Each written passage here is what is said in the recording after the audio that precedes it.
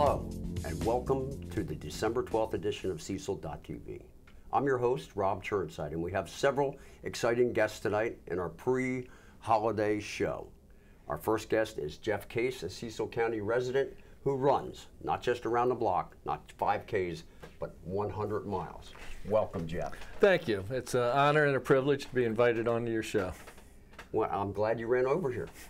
well, I drove over here uh, this evening, but uh, it's uh, nice to come check out the studio and and participate in the you're community. Natalie attired as well. yep, one of my favorite shirts. I'll tell you what, I can't even wrap my mind around 100 miles. How did you ever get into running 100 miles in one pop? Well, the journey started about eight and a half years ago when um, I quit drinking, I got into recovery, and immediately gained about 60 pounds. And about two years ago, I got a no notification from uh, my high school out in Michigan that I had been inducted into our, the uh, Athletic Hall of Fame for my cross country career in high school. Well, I hadn't run in 35 years, so uh, I realized uh, I can't show up to this event larger than a house and get winded walking three steps onto the stage. So I set about to start running, and then my knees started bothering me. So I bought a bike, and I spent the next eight months riding my bike, losing the weight. Went out to the Hall of Fame induction with about 60 pounds lost, and came back. And about a year ago, decided to see if my knees would hold up any better with the loss of weight, and, they did. So awesome. Uh, last uh, November 1st, I ran a 5K. I, that went pretty well, and so I thought, well, now what? And I saw that there was a 50 mile race on New Year's Eve. So I had eight weeks to get ready for that, so I set to business, did the 50 miler, crossed that finish line, looked at the race director, and I said, well, that didn't hurt nearly as bad as I thought. And, uh, Unbelievable. Uh, How long did 50 miles take? I finished that in uh, 8 hours and 56 minutes, so just under 9 hours. So New Year's Eve is pretty, the day length is pretty short, so you must have spent some time running in the dark. Actually, that race uh, was run in conjunction with a 100 mile race that they started at 8 o'clock in the morning. So they they set us 50 milers out at 8 p.m. to kind of help the 100 milers. Uh, we were almost like pacers for the 100 milers. So the entire race, uh, my entire race was run run at nighttime. Man. Yeah. And where was this? This is in Alcoa, Tennessee.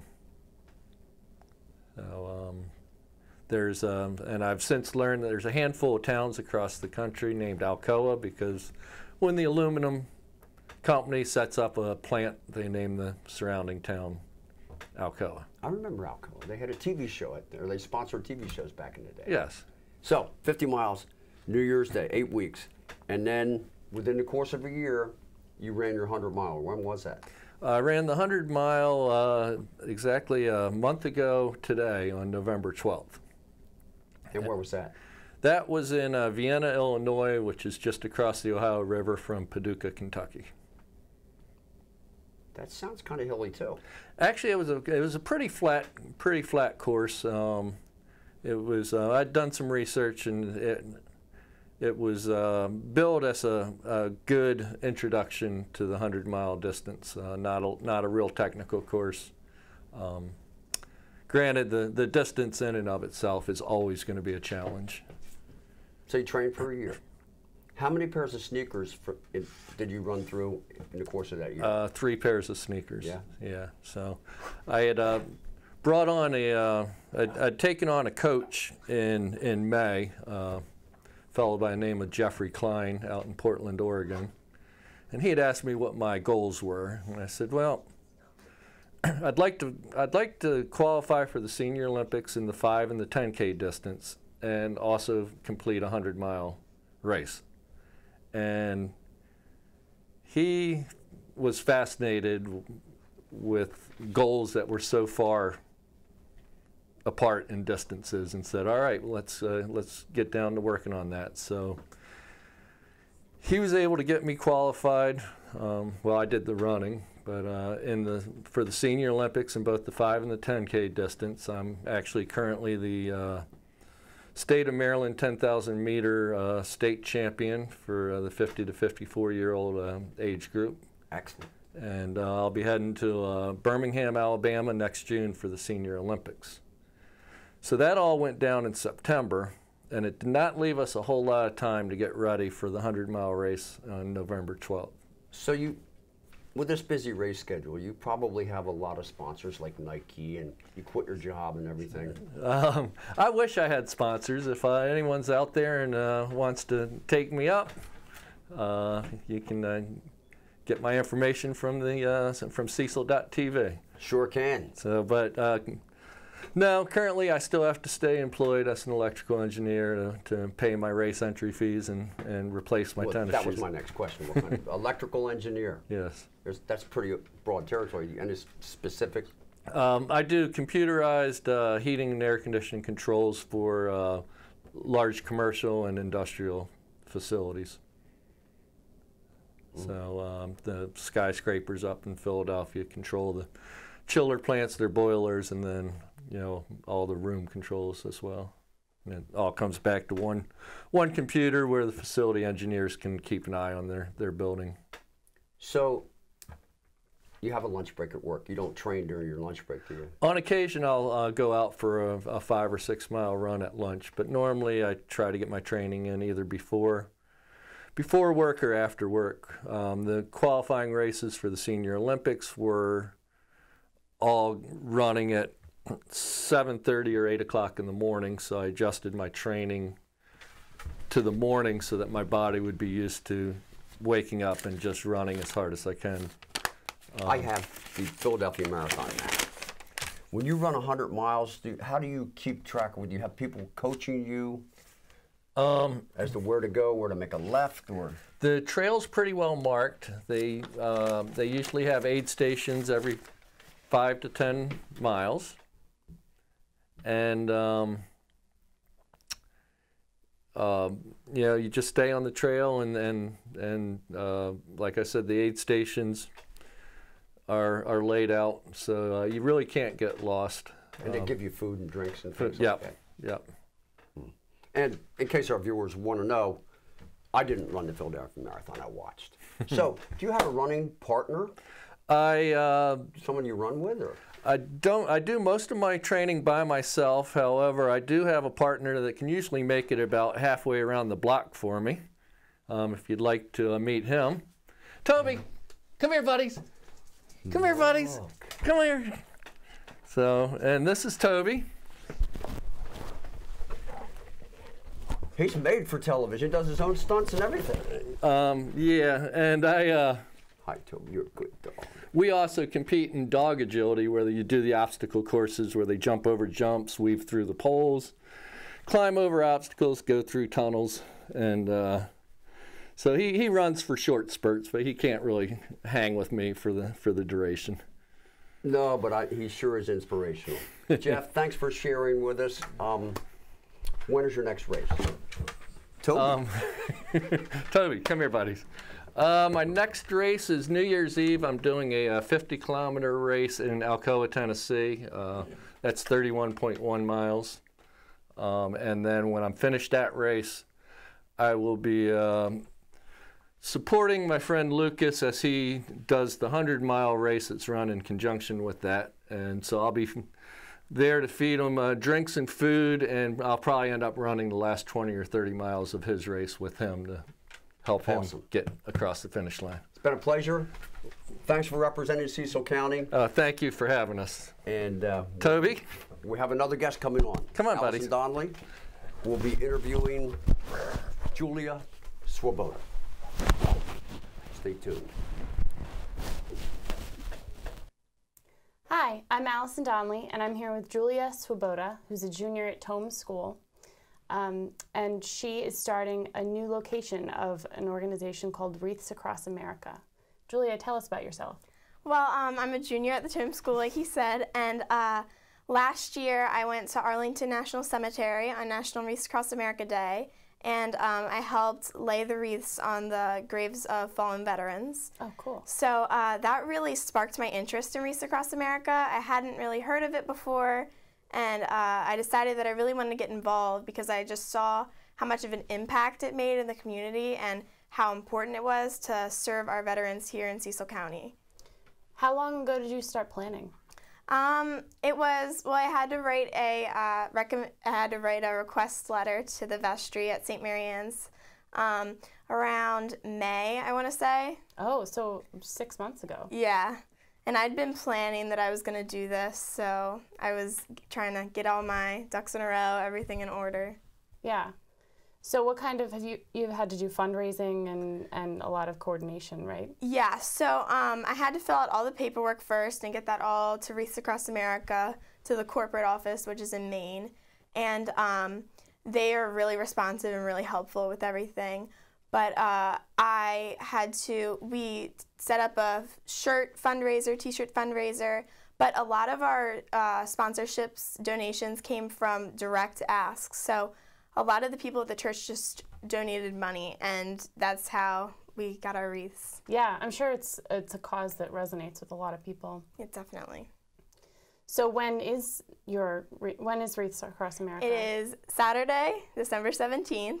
So, and anyone can volunteer and lay a wreath on a veteran's grave. So, They can show up just the day yep. of. And it's at noon. We have a ceremony, and then following the ceremony, there's the laying of the wreaths. Awesome. Yep. That's very exciting. How how can we help you promote the, your event? Just getting the message out, you know, that it, it starts, the ceremony starts promptly at noon. And we'll have a color guard, and we'll lay our seven ceremonial wreaths um, for all the branches of the service and the prisoners of war and missing in action. So then we'll also have a few guest speakers before we actually go out and lay the wreaths on the graves of the veterans. That's so awesome. Yeah, really excited. So, um, what else are you involved in? Well, I'm involved in the VFW, so uh, I kind of knew I'm. I, it was kind of a good cause for me to uh, kind of help out with, and I, I really saw that at Arlington, definitely that I that this needed to have attention brought to the topic, and that people, you know, that it's the first one in Cecil County, so people, it would just be a good way to kind of start something new that uh, people can come and lay the wreath on the grave. I'm also involved in National Honor Society and Key Club service organizations at my school. Nice. And I hear you're going to Nicaragua. Yes, I'm going to Nicaragua in January with my school to, um, with Promise in Sight to help uh, administer eye care to the people of Nicaragua. Cool. And you haven't been before. No, I've you? never been. This will be my first time. I'm very excited. You're going to have so much fun. And what are your future plans? So I hope to keep doing this. And there's a girl next year who goes to St. Mary Anne's Church, and she's going to kind of work with me next year because I'll be a senior, and she hopes to take it over the year after. So I'm really excited for that. And we have 177 wreaths out of the 60 we hoped to raise. Wow. Well, now that number's up to around 75 graves. So we'll have around 75 wreaths to place on the graves, and we have 177 that we've raised so far. So she should be a good bit into the next few years. That's awesome. Well, thank you so much for being here. And, Thank you for having um, me. we will definitely help you. Uh, we'll share the event on Facebook so all of our listeners or viewers can can check it out themselves. Great. Thank you so much. You're welcome. Hello again, and here we are for the Discover Cecil segment of Cecil.tv with David Wells, a keyboardist and singer and songwriter from Cecil County. David, welcome to Cecil.tv. Thank you. Pleasure to be here. It's our pleasure. You're going to play some music for us in a little bit, and uh, that'll be good. Why don't you tell our viewers how you got started playing keyboards? Well, I was three years old, and mom bought a little air blower organ. It only had two volumes, loud and louder. And uh, that's how I basically got my start. I played, started out with little kid songs, and I gradually moved up from there. And I've never read a never read a sheet of music in my life. I just uh, basically played it by ear. I would think, David, our viewers might not know, but you're blind, so I doubt you could read sheet music unless it would be They braille, have braille they- sheet music, right? they do have it in braille, but um, that presents a whole new set of challenges trying to read that and then play, play. yeah, uh, right. You'd have to play with yeah, one hand, right? Yeah, pretty much, And or memorize what you just read. right. And I would guess memorizing is the way you go. Yeah.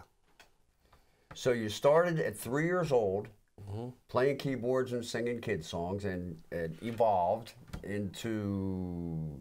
I've known you for many years, so I know what you play, but our viewers don't. Well, what it evolved into is a lot of uh, 50s, 60s, um, 40s music. It, it, it evolved into a lot of uh, classical music, and, and it also uh, classic country I play as well. So, and it's always very well received. Um, you play a lot for places where there are people much older than yourself. yeah, correct? I play I play for a lot of geriatrics, um, geriatric patients and, and people in nursing homes, and um, make a small living at it. But you know that the the reason I do it is not because of the money, although that helps. But um, the reason I do it also is just to be able to put some joy in their lives, as well, and you feel like you've been paid a million bucks when you walk out of there. so the joy resonates with you. Mm-hmm. That, that's pretty cool. And you make a little bit of money. Um, I should add that I know that you're supported by you and your lovely wife Jackie. Yes. Live in an apartment supported by Bayside Community Network, which is a Cecil County agency. Yes. That they also have people who help you arrange your gigs and go to your gigs. Correct? How does that work? Um, what ha- what happens is uh, there there's a person that takes me on the gig.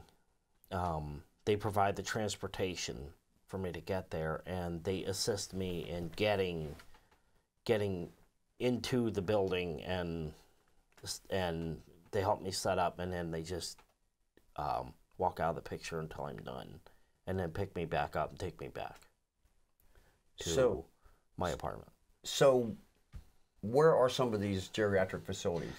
Uh, I play for Elkton Transitional. Um, I also play for Singerly Manor.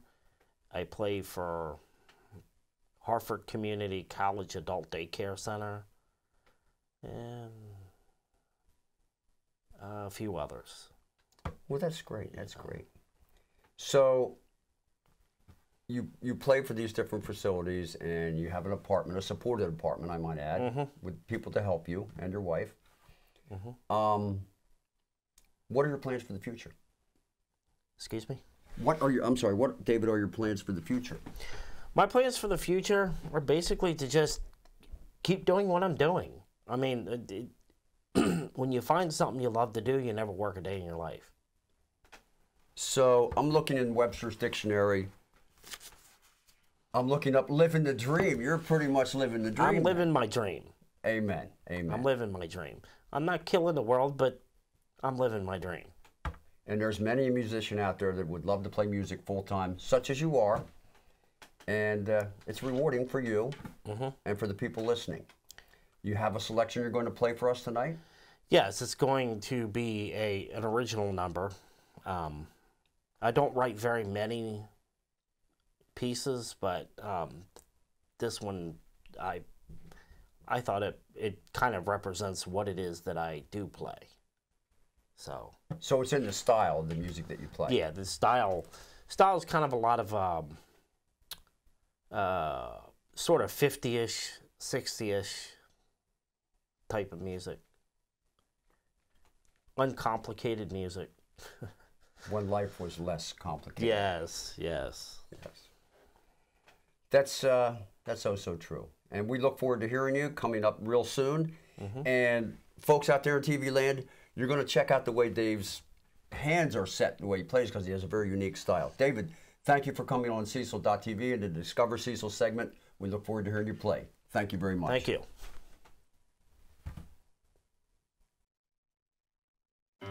Don't call me, don't write me, don't come to my door. Don't say how much you love me. I've heard that line before. I'm tired